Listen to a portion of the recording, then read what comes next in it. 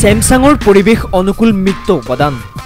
Samsung ইলেক্ট্ৰনিক্সে প্লাষ্টিকৰ পৰিৱৰ্তে paper আৰু আন বহনক্ষম পৰিৱেশ মিত্ৰ উপাদানেৰে এই বছৰতে সামগ্ৰী পেকেজিঙৰ বিষয়ে ঘোষণা কৰিছে।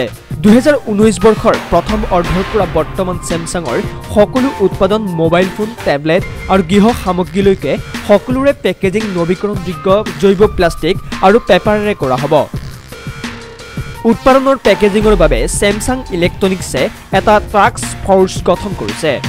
এই ফ'ৰ্চে উদ্ভাৱনশীল পেকেজিং ধাৰণাৰ বাবে ডিজাইন ডেভেলপমেণ্ট ক্ৰয় বাণিজ্যিকৰ লগতে সকলো দিশ পৰ্যবেক্ষণ কৰিব।